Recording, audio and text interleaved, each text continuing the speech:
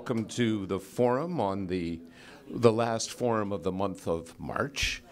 It is spring, and my gosh, we're supposed to have an absolutely wonderful week as well. Ladies and gentlemen, today I have an exciting announcement. I have finally learned how to spell, or how to pronounce rather, our speaker's last name. For those of you that, thank you, thank you. For those of you that have been here regularly, you've seen me mess it up. And of course, like most things that I manage to mess up, I've learned that it's easier than I thought. Cheryl was kind enough to give me the secret pronunciation. And in just a second, we're going to learn about recycling in our state from Cheryl Bertges. See, I did it right. Cheryl, thank you for being here, and please come right on up. Thanks, folks.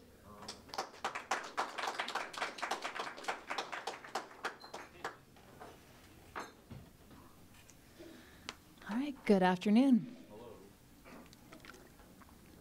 Got to do the classic uh, calming drink of water before you get started. Okay, thank you so much for having me to speak. Like Rob said, I'm Cherilyn Bertges, and I am the Public Relations and Outreach Manager at Oregon Beverage Recycling Cooperative. That is a mouthful, but I'm going to break that down for you in just a moment. I'm going to talk to you about a few basic things today. First of all, we're going to recap the Oregon Bottle Bill, talk a little bit about where it came from and how it's been functioning in Oregon. And we're going to spend most of the time talking about changes that have come to the bottle bill in recent years.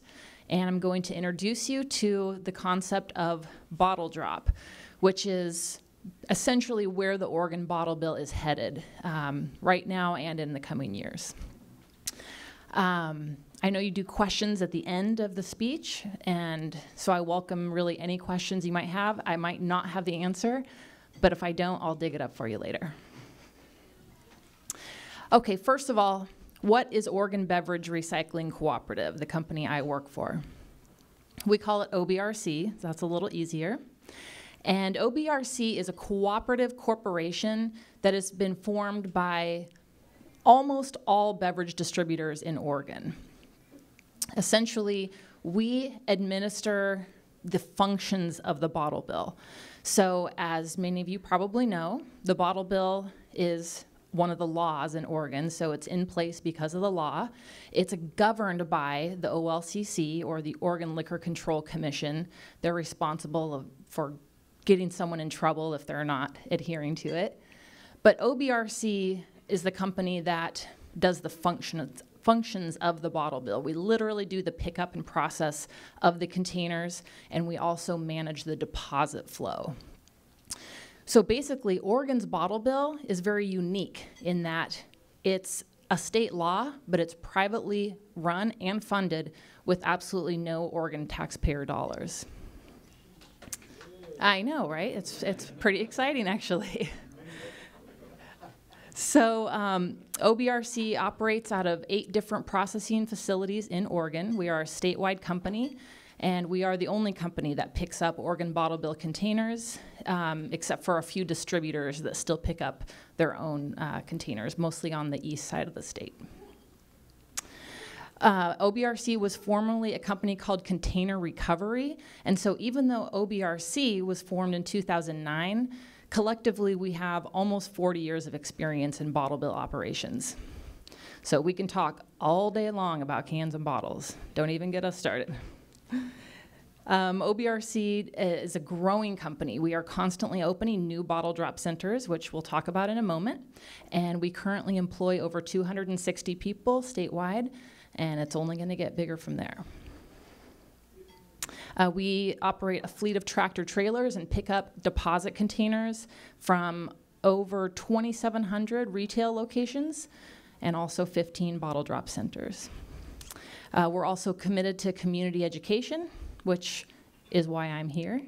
And we also have a presence at many state events, and in terms of tabling, uh, we also have a fairly robust fundraising support program, which is also only getting bigger.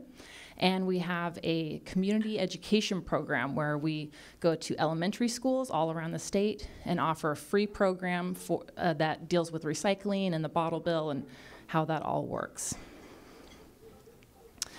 Okay, let's talk about the bottle bill. People throw this term around a lot, but I find a lot of people don't quite understand how the bottle bill works. I'm guessing that you all probably do understand a lot more of it than the average Joe on the street, but we'll just recap for fun. The Oregon Bottle Bill was signed into law in 1971, and I'm guessing a lot of you know who did that. Governor Tom McCall, who's famous for several environmentally based things. And the bottle bill was one of his big stars. Now, granted, if you do some research, you'll find he had a lot of help getting the bottle bill going, but he still gets most of the fame. Um, before the bottle bill came into law, roadside litter was made up of about 40% cans and bottles. And back then, as we know, it was mostly beer bottles and soda cans because we didn't have all the different bottles and bottled water and things that we have right now. After the bottle bill got going, that amount uh, went from 40% down to 6%. Cans and bottles only made up 6% of roadside litter. So it was extremely successful in terms of keeping the state clean. Now, this is one thing that a lot of people kind of lose sight of nowadays. We have so many recycling programs, and everyone's like, yeah, recycle. But the bottle bill was initially a litter control bill. Recycling was a benefit, an afterthought. Now, for a long time, the bottle bill just continued to function the way it always did. But as times changed, new types of containers and types of drinks were invented. Uh, people started buying bottled water in mass amounts, as they do now. And along came all kinds of other single serve beverages like coffees and teas and energy drinks and kombucha and aloe vera water. What is that? Um, now, according to the bottle bill, according to the letter of the law, those beverages did not fall under the bill because the bill said it was beer, like malt based beverages, and soda or carbonated beverages. So now we're looking at a bill that was set forth to be a litter control bill, and now there's a whole bunch of containers that people tend to consume outside the home and litter that aren't covered under the bill. So for years, environmental groups tried to change the bottle bill, tried to get these additional things added. And there's a lot of pushback from other groups, the beverage industry certainly, and it's been a long battle. However, in 2007, they, a bill was passed that added water and flavored water to the bill. My slide says 2009 because that's when it was implemented. And it was because of this change to the bottle bill that OBRC was formed. Essentially, the bill that was passed that added bottled water, it also said that any large retailer that sells any type of soda, water, or beer has to accept empty returns of any type of brand, regardless of whether or not they sell it. So that means that before OBRC was a statewide corporation, distributors were responsible for going anywhere their containers were, returned to pick them up.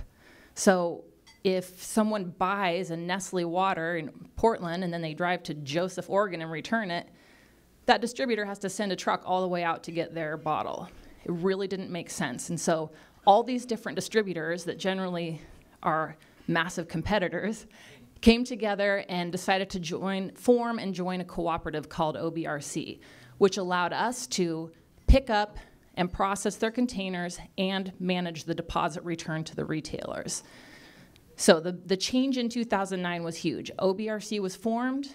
Suddenly, consumers could return containers into to any large grocery store around the state instead of where you bought it. And water and flavored water were added to the bottle bill, which increased the volume of containers as well. Now, after that happened, the, uh, the environmental groups that have been pushing for water continued pushing because it's not just water, right? I also mentioned coffee, tea, sports drinks. There are many other beverages that contribute to litter and to landfill space if they don't get recycled. So they continued pushing for these changes. Sorry, one second. The grocery system or the retailers came back and said, we're already maxed out to the gills. Everyone's returning their beverage containers, now including water, to our grocery retail rooms, and we can't handle any more volume.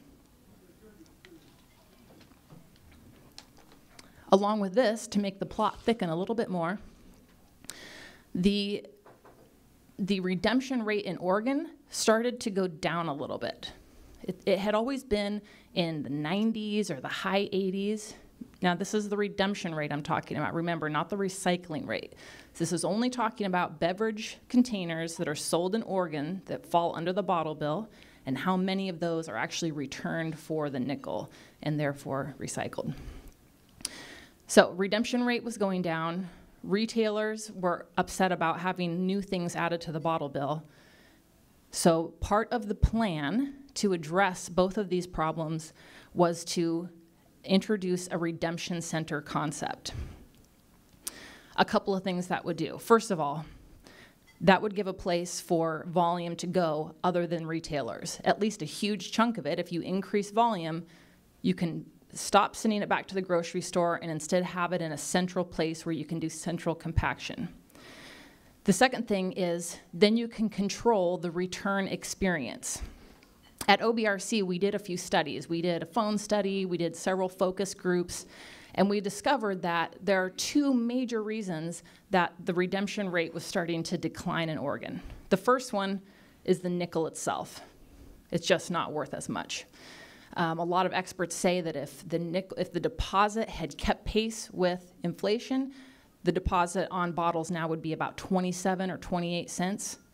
That'd make you stop and think over 24 pack, right? You'd be like, whoa.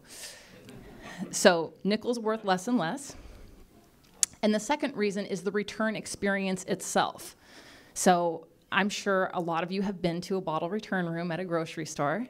And this is not a diss on the grocery retailers. They're trying to sell food, they're not in the recycling industry. So you go to the grocery retail room and the floor is sticky, the machine's broken, you have to call the bottle boy like 15 times. Nobody comes out, the machine is too full, and sometimes there may be people hanging out in the bottle room that you don't necessarily want to hang out with, or maybe you don't want your like little niece to hang out with, and that's not an insult. It's just a fact of what we heard from the community.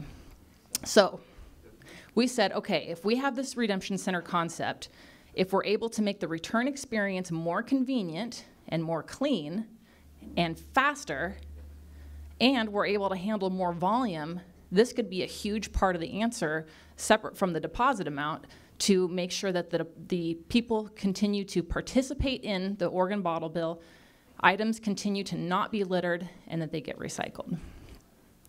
So basically, in starting in 2011, I don't have all of this legislation broken down for you, but I could email it if you were interested in it. Um, the legislature initially approved the uh, said anybody can open a bottle drop center if they want to, or I shouldn't say bottle drop. Anyone can open a redemption center if they want. In a couple years later, they approved a bill that said, okay, you can do a pilot project for redemption centers. And so for us, that meant three redemption centers. Our first one was in Wood Village, then Oregon City, and then in South Salem. So we built three centers, and the OLCC measured the success of those centers and took that to the legislature.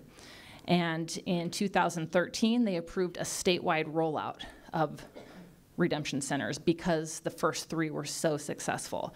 So that's why there's such a wide range on the date here for the Bottle Drop Redemption Center rollout. It's because it's been a series of approvals and bills and all kinds of red tape you don't even want to think about. Um, so, what is coming next in terms of legislation? It's already been passed that in 2017, the deposit is going to increase to 10 cents. Um, now, as the bill states, that was a measurement that was put into place. So, remember I said that the redemption rate used to be in the high 90s, the mid 90s, the high 80s. Well, it has con continued to go down. And eventually it got low enough that the legislature said, okay, or the people that were supporting the bill said, okay, if the redemption rate does not go back up to at least 80% for two years in a row, starting measurement in 2014, then that's going to set off a trigger to push the, push the deposit up to 10 cents per container versus 5 cents. Well, if any of you have been following the redemption rate or any of the numbers that are published by the OLCC, you'll see that the redemption rate is absolutely not at 80%. Um, last year, which is the first, or I mean, I'm sorry, 2014 was the first year of measurement, and the redemption rate was about 68, right around 68%. Um, and then in this summer, the numbers will be published for 2015. And the chances of it being all the way up to 80% in that amount of time are pretty much nil. So we are looking at a deposit increase to 10 cents in 2017, and that's most likely going to be in April of 2017. Um, then in 2018, the legislature also approved an expansion of containers. So this time, instead of saying, here are the containers that are included, now they're saying everything is included except these few things. So essentially, any single service type of beverage is going to be included up to a liter and a half in size that is not liquor, wine, or milk product, including things like almond milk and stuff.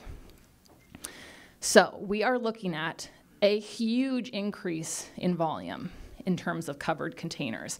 Not only is the deposit going to be higher, motivating people to return more, but now there's going to be a massive expansion in the, what we call the covered class of containers. Okay, due to all of what I just said, introducing bottle drop. So, bottle drop is the redemption center model that OBRC came up with.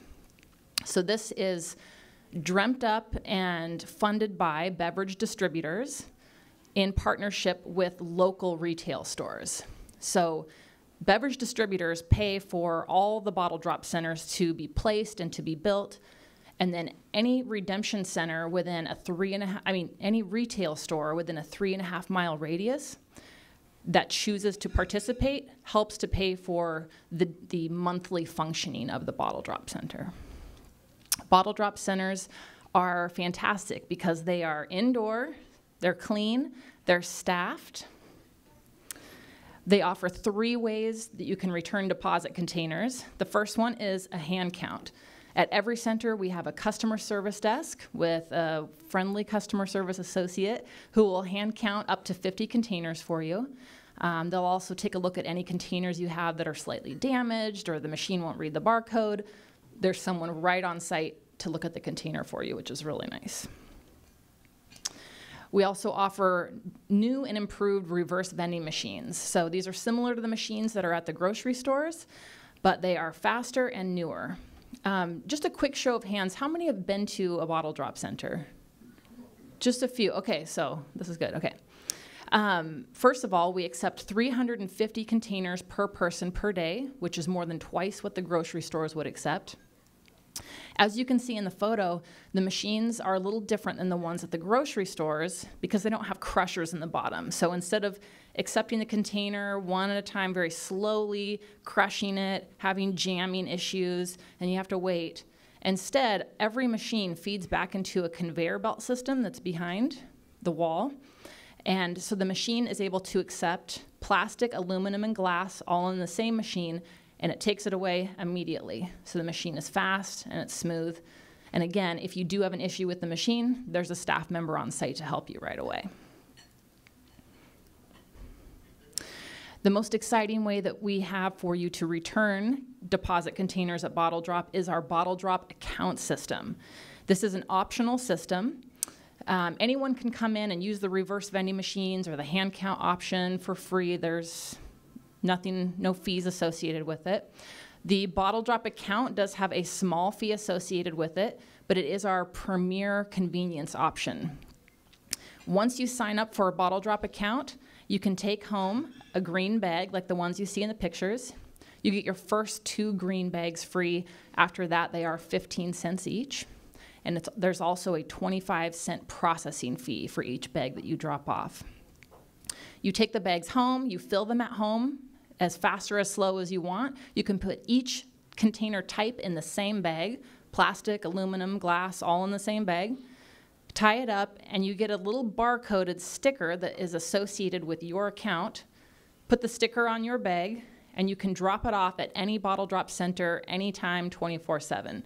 In the top photo, you see someone putting the green bag in our secure drop door. So even if the center is closed and you want to drop off your bags at 2 a.m., you can do it.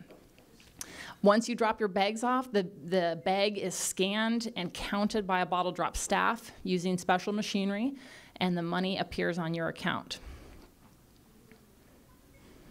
You can access those funds either at the bottle drop center at our pay station. You can either get cash or add the money to your, um, use your card to get cash.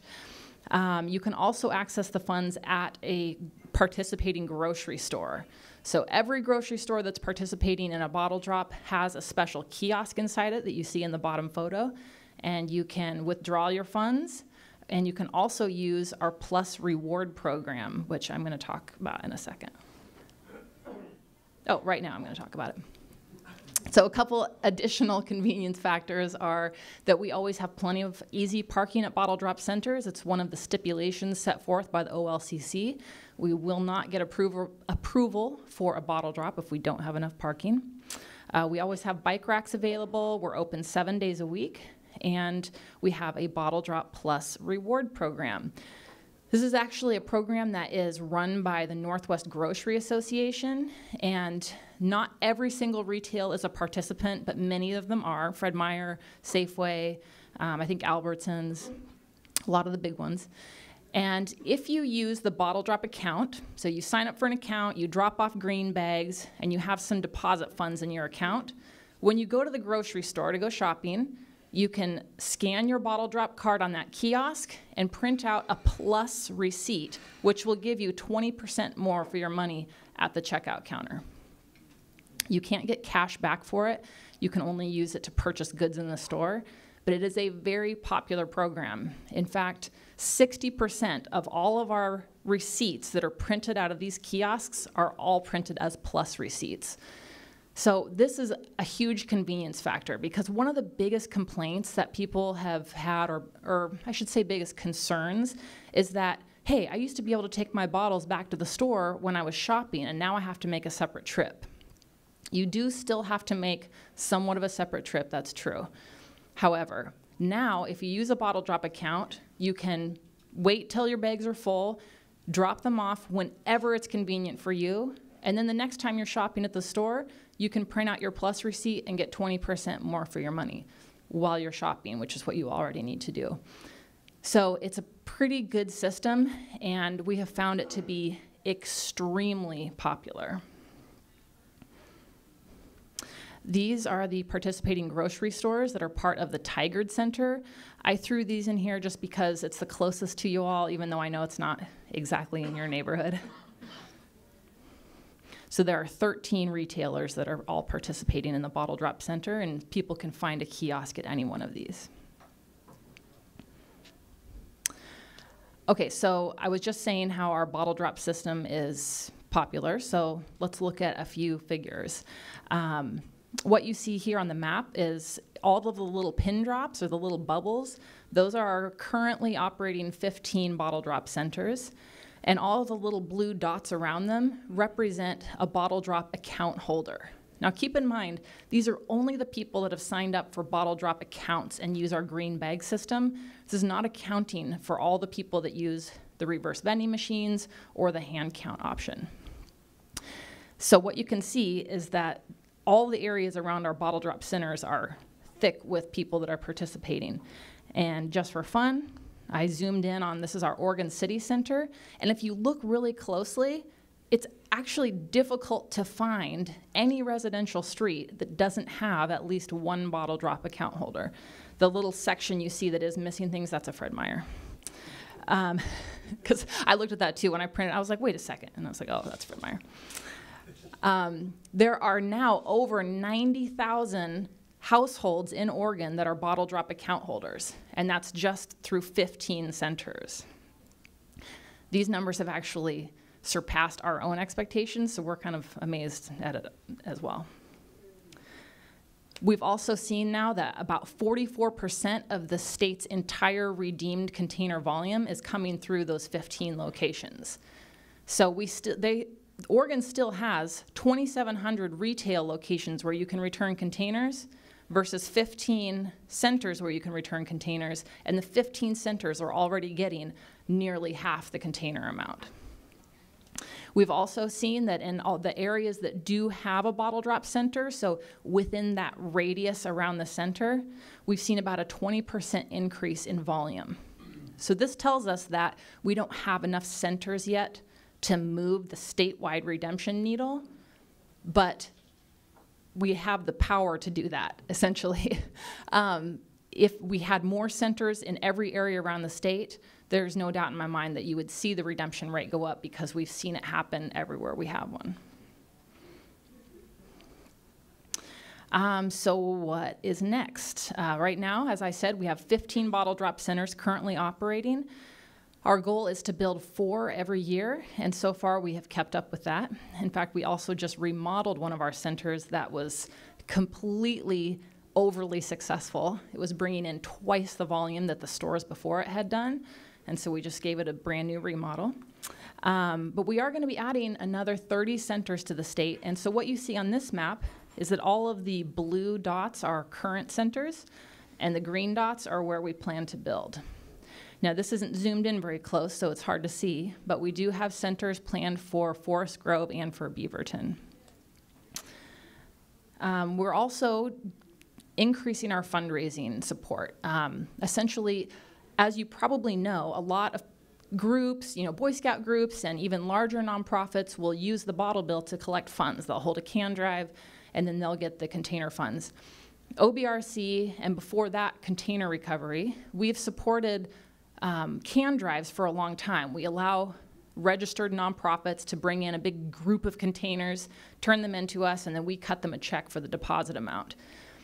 That's been very popular. We have about 12,000, or I'm sorry, about 1,200 nonprofits that do that with us at our processing plant locations. But now that we're building these bottle drop centers statewide, we're wanting to increase our fundraising because our reach to the community is getting so much greater. One thing we already do is on our website, our bottle drop website, we offer the ability for a nonprofit to sign up as a featured fundraiser. That means they have uh, their own page on our website. People can go and select and read about them. And then any bottle drop account holder, so any one of those 90,000 bottle drop account holders, can donate their funds online to that fundraiser if they wish. That was a system that we just introduced um, in January. And now what we're going to do is add the ability to purchase and drop off large amounts of green bags for fundraisers as well. And this may not sound that complicated, but it actually is complicated in terms of operations from the back end. But in a couple of months, we're going to give fundraisers the ability to buy, you know, say three or 600 green bags if they want to. They're going to be able to pre-label the bags and hand the bags out to all their supporters. Then all the supporter has to do is fill up the bag with containers, drop it off at any bottle drop center, and that money will automatically go onto the fundraising account. Um, some people may, some fundraisers may collect some green bags at their place of business or place of operation as well. And so we're also going to allow fundraisers to do larger bag drops at the center themselves. Um, that combined with our online featured fundraising, we think is going to be really popular and really, really exciting for a lot of our nonprofits. And the last bullet point, I would love to have more information on this. I don't have a slide on it because it is brand new in the works, but we are also going to be introducing a rural Dropbox program. Now, when we talk about bottle drop centers and where we're going to build them, it's only financially feasible to build a bottle drop center where the population and the volume warrants it. It's an expensive project. As I said, we don't use any Oregon taxpayer dollars, so it's all privately funded. Also, the distributors split the cost of general operating with participating retailers. So if you're looking at a small town where there's only one or two large retailers, it's just simply too expensive for everyone involved to build a bottle drop center. That being said, we want to bring this bag drop program and these fundraising capabilities to everyone in Oregon that we can. So what we're looking to do is build a large drop box of some kind. Um, we have staff working on it right now. Think shipping container, and outfit it so that people can drop off bags, print receipts, essentially use the green bag drop system in a rural area where a truck will then come and pick up the bags and they can still use the online account system. So like I said, that's brand new in the works, so you know, it's just between us. But it will be very exciting once we're able to roll that program out. To find out more about a lot of the things I'm talking about, you can go to bottledropcenters.com. Uh, that's where we have a list of all of our locations, all of our participating retailers, information about our accounts, all of our featured fundraisers, um, as well as our frequently asked questions and ways you can contact someone like myself if you have if you have any questions. Speaking of questions.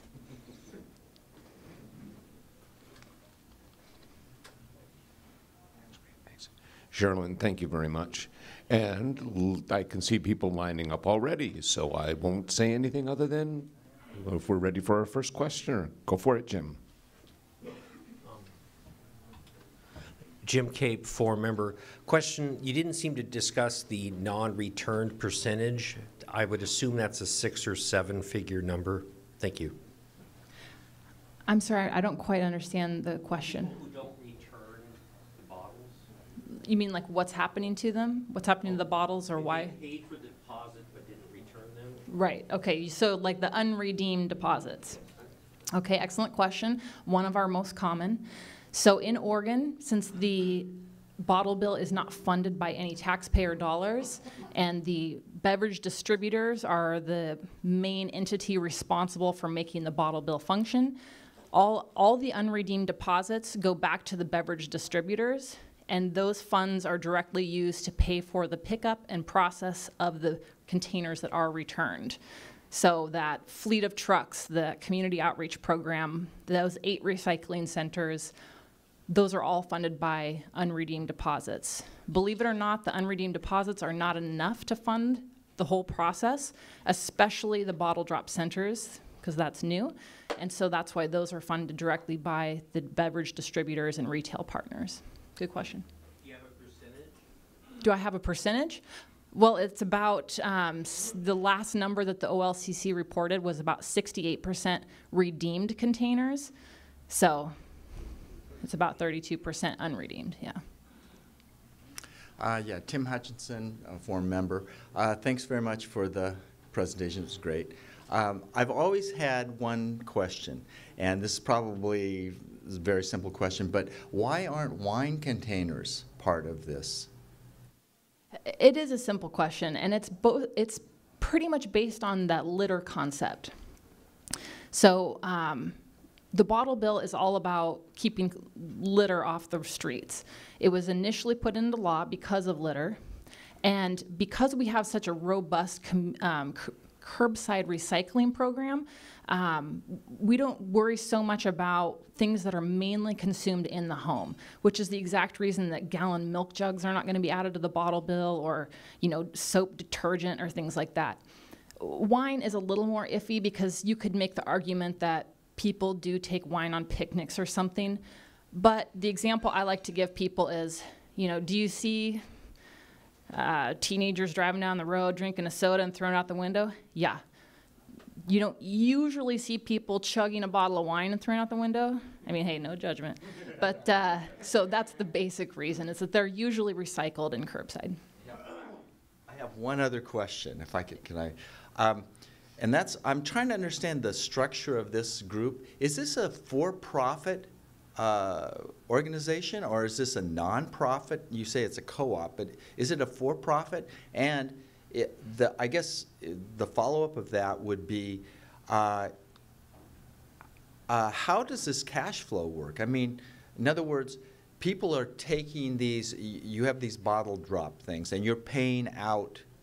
So how do you, what do you apply to the, I mean, I, I assume that the, the grocers collect the deposit and do they send it to the state or and then, then do you apply to the state for reimbursement for the, you know, like, for instance, if I, if I take, you know, 24 bottle, if I buy 24 bottles from the store, they charge me the deposit, where does that go? Does that go directly to you, or does that go to the state, and then the state does it? And then finally, are you the, I mean, do you have a monopoly on this, or are you the sole recycler in the state, or, you know? Sure. Maybe I- that was too many questions. No, so remind me what the first question was? Oh, I don't remember now. No, no, the first question is, are you a non, is this a nonprofit or Okay, is this so a how, for-profit? how, how OBRC functions and Yeah, then just how how the it's deposit, structured. how yeah, the and- deposit And then flow how the works. cash flow works, where, whether Okay. you have to apply to the state, and if Sure. so, you know. s- So we are a cooperative corporation, and we have a very unique business model. Uh, we're not a nonprofit, but we also don't make a lot of money. So basically, we're, we're member owned. So we're a cooperative of members. We have a board, and any profits we make off, say, you know, selling the scrap or something, which isn't much in this market, those shares are returned to our members. Um, and then we kind of just keep enough so that we can function, like in our staff and trucks and fuel and that type of thing. Now, in terms of how the deposit flow works itself, when, oh, I should have brought a slide of this. I gotta remember that next time. When retailers buy beverages from distributors to stock their store shelves, they pay a deposit on all of those containers, five cents for each container. So the deposit goes from the retailer to the, to the distributor. The, so the distributor's holding the nickel, we'll say. The consumer comes along and pays a nickel every time they buy a container from the retailer. So now the retailer has paid a nickel, but they've gotten one back.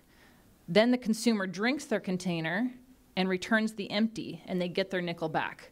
Now the retailer is out the nickel again. That's when OBRC comes along. The distributors who, oh, who are our members forward those deposits to us. We go to all the retailers, we pick up a certain amount of containers that have been returned to them and pay them back for the deposit on every returned container. Then, um, so the retailer now has their system. We take the containers away, and then we return, we sell the scrap, and then we return, use a lot of the money to function and return any um, profits to our, back to our members. Was that enough detail to? So the state is not involved in deposit, in the deposit flow at all. I'm Bill Kroger, forum member, and thanks for coming in today. Interesting presentation. Uh, we used to have a Lamb's uh, Market in our neighborhood that had a recycling center that was very popular and busy all the time. Then Whole Foods came in and bought them out and closed the whole thing down, so, which, which I thought was sort of crazy for Whole Foods. But I was just wondering, how, how do you have arrangements with the various stores? Do you recruit them, or do they come to you, or how does that work? And I have a second question. Um, what I do with my cans and stuff at home, I just recycle them each week when the garbage comes around. Is that, what happens with those kind of cans and things like that? Okay, so the first question with the retailers. Um, generally, we recruit the retailers when we're going to be opening a new center. As we've gone along and we're getting more and more popular, it's it's not a we don't have to do as much recruitment as we did initially because a lot of them are you know statewide or national brands or companies. So if we have we already have a bunch of Safeways that are participating. So if we open a new center somewhere else, it's just a ma- ma- matter of contacting that particular Safeway. Um, now, the OLCC has, I mean, I'm sorry, the legislation has also passed a bill that gives the OLCC the power to make sure that retailers are um, in compliance with the bottle bill. So, what that means when there's a uh, redemption center in place is that any large retailer, meaning 5,000 square feet or more, if they're within a three and a half mile radius of a redemption center, they need to either participate in the center to fulfill their bottle bill obligations. And if they don't want to participate in the center, they have to offer a certain amount of convenience features that are similar to the bottle drop center. And again, that's something that is um, mandated by law and by the OLCC. So um, it's not, it, we semi-recruit retailers, but it's a matter of law for them, and so it just kind of depends on whether or not the retailer would rather handle it themselves or whether or not they would rather participate. Now, most of them would much rather participate in a bottle drop because retailers don't like handling bottle bill containers. It's a pain. Like I said, they're trying to sell food and keep their stores clean, and recycling, uh, as much as we try to keep it clean, it's a little bit of a dirty business. So they would much rather have it off-site and be able to offer the convenience of the kiosk to their customers. Um, the second question, oh, the containers you recycle curbside. Anything you recycle curbside that doesn't have a deposit just gets recycled. Any deposit container that you have purchased and you put in your curbside, you're essentially forfeiting that nickel, and that's one of the nickels that goes to fund the, the recycling of the other containers that are returned. Chris Leslie, forum member. I was wondering how you recycle glass. The bottles, are they washed out and given back to the companies? No, they're all crushed and and put into um, a huge. I can't think of my words all of a sudden. Put into a big oven uh, where they where they're melted down. They're actually most of our glass, at least the glass that's returned via the Oregon bottle bill, is taken to Owens-Illinois, which is right near the air or not too far near the from the airport on 205, and they are essentially all made back into glass bottles. Uh, most of the glass that goes gets recycled in curbside is generally made into some type of road surfacing. But because the Oregon bottle bill is such a clean collection, we call it a clean recycling stream. We don't have a lot of contaminants. So we're able to recycle almost everything that comes to us, and our product is extremely clean, so it's able to be used and made into higher grade product. And a follow-up question. The taxes, you pay taxes, I hope. Of course.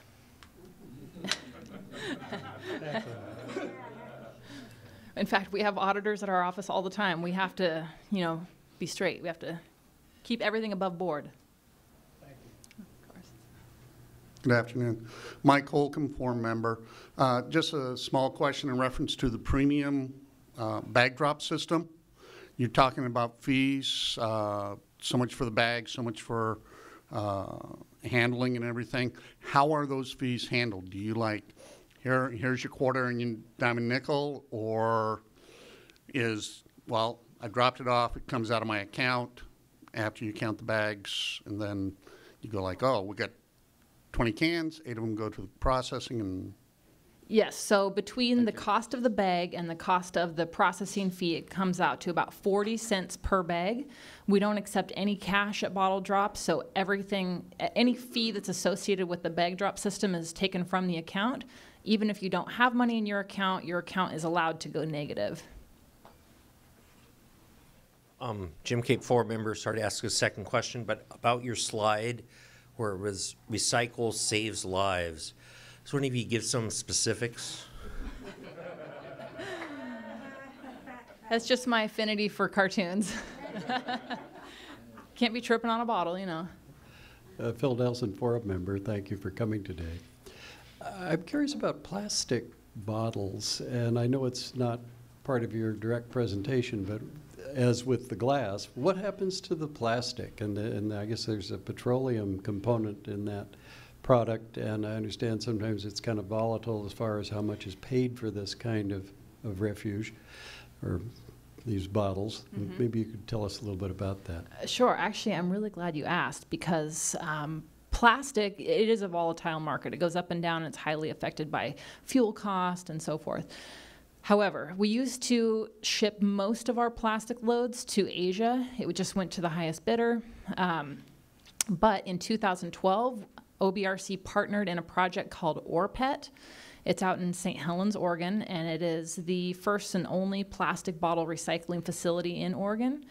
Um, all of our plastic goes to ORPET. It's processed on site to the point of, of becoming flakes. So at OBRC, we take the plastic bottles in, we uh, separate and make sure they're all clean, and then we bale them into large plastic bales. Those bales are sent to ORPET where they flake and clean the material. So they cut it up in little pieces and then they, they do a couple different types of washes on it to separate caps, labels, and bottles.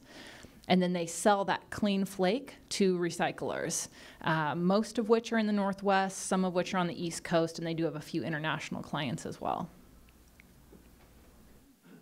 Just a follow-up question, Tim Hutchinson, forum member. Um, So uh, are you, so do you have a monopoly in the state? Is that, I didn't understand, because you didn't. uh, I, I didn't, I forgot to answer Yeah. that question. Um, yes and no. We, we certain, there's like, there's certainly no rule that someone else can't pick up bottles or participate in returning deposits to customers. In fact, the bill states that other people can do it. However, most states that have bottle bills, there's a handling fee connected to the bottle, which generally is paid by the state. Oregon, does, the state does not fund the bottle bill, and so there's no handling fee for picking them up. So you're literally taking in the deposit and then paying it back to customers. So there's just not a lot of money to be made unless you're getting the unredeemed deposits, which according to how our system is set, the distributors have those. So if you could convince the distributors to forward some of those deposits to you to work with, then, you know, then you could do that. But because the distributors have already formed a cooperative, it, there's just not a lot of money to be made for someone else. And then, and then just a real quick question, which, Yeah. uh, you know, you talk about this five cents and all that stuff, but then you also talk about the actual recycling. Are you able to make like, uh, uh, like ten or twenty percent just from the recycling? Or, I mean, is it, is that a money thing, or is it, uh, you know, because you say you sell it to the highest bidder. So does that mean, you know, so you're selling this pla, you, you don't have any money in it, right? Because you're just handling the stuff. So if you sell the plastic, the this and that, I mean, what percentage of your operating costs does that represent, or can you recapture by, you know, I couldn't. I couldn't give you a percentage on that, just because I don't know it. But I can tell you that the recycling, all recycling markets that we deal with, plastic, aluminum, and glass, are all down. And so re- recouping as much cost as possible from the scrap, it, that's, we do that, but it's not much. Um, it's, and it's difficult to find, you know, quote unquote, the highest bidder. Um, also, something that just popped into my head regarding the plastic recycling question. Um, there's a company called Earth2O, and they've created a system where they do a completely closed recycling loop with their bottles. So they purchase flake from Orpet and they make a plastic bottle completely out of 100% 100% recycled plastic. And then those bottles are picked up by us and go back to Orpet, which is why we call it the closed recycling loop. So that's pretty cool. Anyway. Again, Mike Holcomb, forum member. Another quick question. You brought, brought up the thing about caps. I notice a majority of the stores are like clean bottles, bottle only, no caps, um, have to have the label on them due to the fact of the barcodes and everything. These recycling centers, are we just going to be able to take our bottles, cap and all, and, and you'll take care of all that? Or are we again still having to half clean and try to figure out where to recycle our caps? Excellent question as well. Um, the whole cap issue has a lot to do with machinery, not with recyclability. So, plastic bottle caps are absolutely 100% recyclable. Um, sometimes curbside programs or certain retailers will ask that you remove the caps because when the caps come off, they can get down in machinery and gum them up. However, uh, at OBRC, we do accept caps and bottles with caps. In fact, most of our bottles come back to us with caps on. Uh, that plastic is a different density than the bottle, than the plastic the bottle is made out of. And so all those caps just come, go in the same bale. They're flaked up the same as the bottle into little chunks, and then they float at a different level than the plastic bottle part. So basically, they're scraped off the top, they're cleaned, and then they are sold to recyclers. And um, our biggest recycler right now that get, buys our caps makes uh, oh plant pots, you know, like for plants.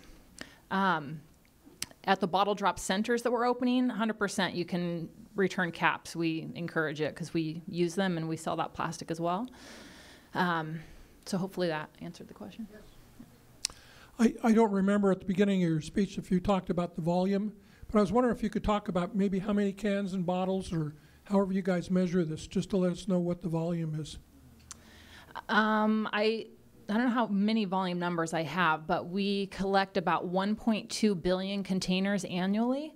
And that's statewide, so that's through the bottle drop centers and through all the retail locations as well. That breaks down to about 23 million containers every week. Uh, fun fact if you line up 23 million containers end to end, they would reach from Oregon to the Statue of Liberty.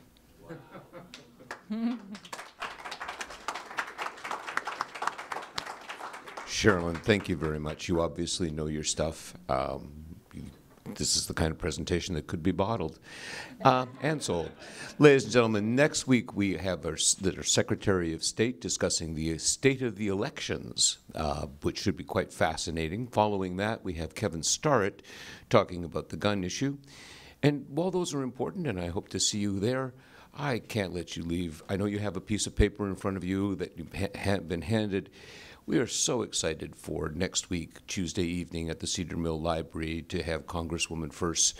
And I hope that not only all of you will be here, but I hope that you spread the word around. This should be an absolutely fascinating short presentation from 7 p.m. to 8 p.m., including a half an hour for questions.